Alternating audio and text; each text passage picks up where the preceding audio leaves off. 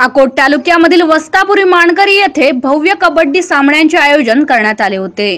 दिनांक तीस नोव्हेंबर रोजी अकोट ग्रामीण पोलीस स्टेशनचे ठाणेदार नितीनजी देशमुख यांनी या कबड्डी सामन्यांचे उद्घाटन केले. या सामन्यात एकूण बासष्ट कबड्डी संघ सहभागी झाले होते.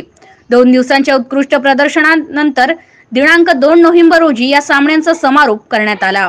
या प्रसंगी पंधरा हजार पाचशे पंचावन्न रुपयांचं प्रथम बक्षीस कासदे गुरुजी यांच्या हस्ते नवयुक्त क्रीडा संघाने स्वीकारले. तर दुसरे बक्षीस नऊ हजार नऊशे नव्याण्णव धोंडामाता संघ शहाणोर यांना डिगर यांच्या हस्ते देण्यात आले.